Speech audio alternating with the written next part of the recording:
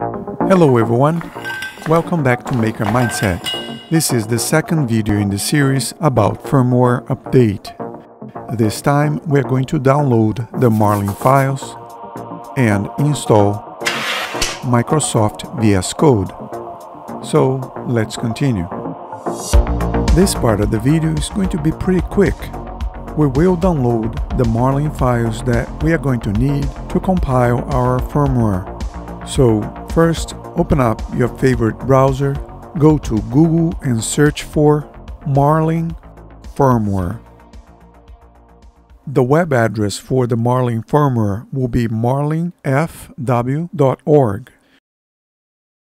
You should download the latest version. At the moment, it is 2.1. We're going to download the latest release that has been patched with some bug fixes, and that will be the 2.1.x.zip file.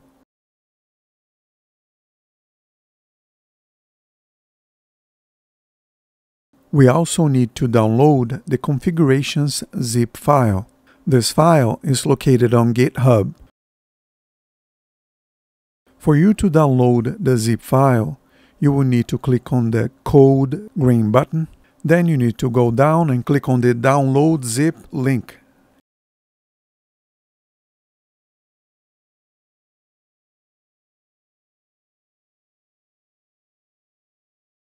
At the Downloads menu, you can open the Downloads folder.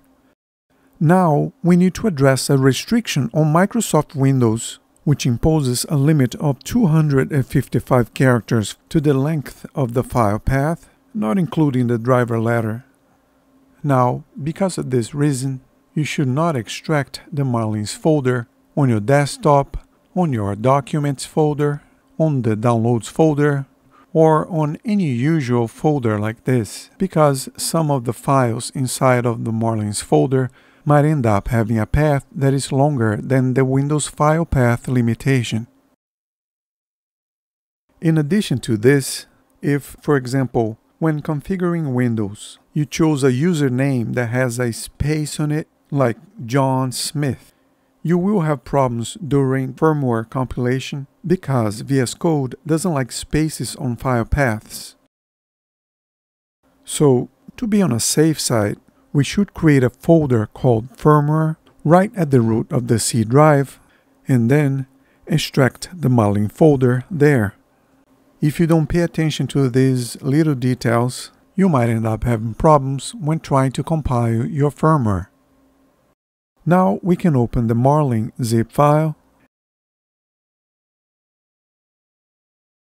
and copy the entire Marlin folder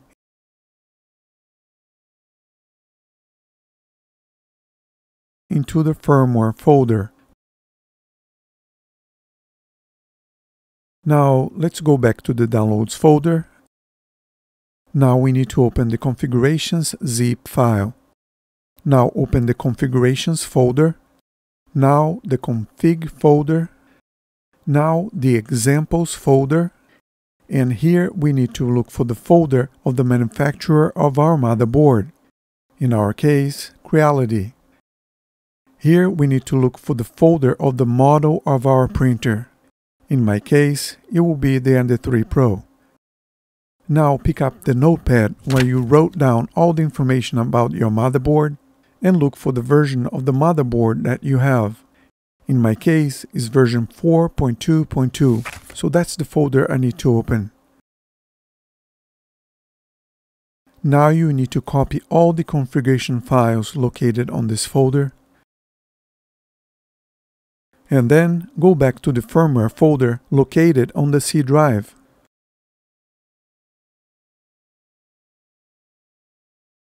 You will have to open this Marlin folder. Now open this other Marlin subfolder and here you can paste the configuration files you copied earlier. You will have to override the configuration files that are already here. Now that we have copied the Marlin files into the firmware folder, you can go back to the downloads folder and delete the zip files. We won't need them anymore. On this part of the video, we're going to install an IDE software from Microsoft called VS Code. IDE stands for Integrated Development Environment. An IDE tool is designed to help software developers. There are many IDE applications available on the market, but VS Code is one of the more popular at the moment. The VS Code application will help us view and edit the Marlin files that we have previously downloaded. It will also allow us to compile our firmware.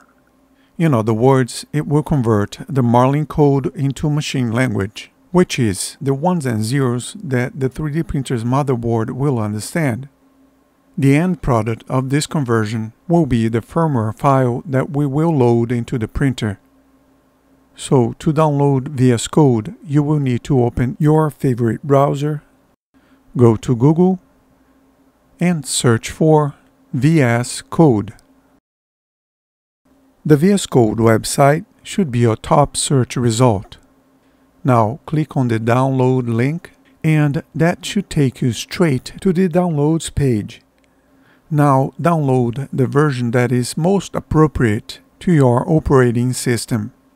The download will actually take a little while. I just sped the video a little bit. On the Downloads menu, you should click straight onto the Open File link. You can close the browser now. First, we need to select that we accept the license agreement. Now you should click on the Next button, Next again, Next again. Now pause for a second. Here you should tick those two options, which just means that when you are browsing your files with Windows Explorer, you can right click on a file that is supported by VS Code and you will then be able to select to open that file with VS Code. It just makes things a little more convenient. Now click on Next again and then click on the Install button. The installation of the main application is pretty quick, but there are a few extra components that we will need to enable as well. These extra components are called extensions. But I usually make a pause here as soon as I finish installing VS Code to make a little privacy configuration tweak. If you don't mind having Microsoft spying on you, you can simply press Ctrl and the right arrow on your keyboard to skip to the next part of this video. If you're still here, you need to go to the menu and select File, Preferences, Settings. Now search for Telemetry. Now go to the drop down for telemetry level and select the option Off. You won't need to save or do anything. Your selection will become effective as soon as you make it. Now it's time to install the extensions that I was talking about you will need to open the extensions panel on the left and search for Platform I.O. Here is the extension. It features this orange bug icon. It's hard to miss. Now you need to click on this blue Install button here.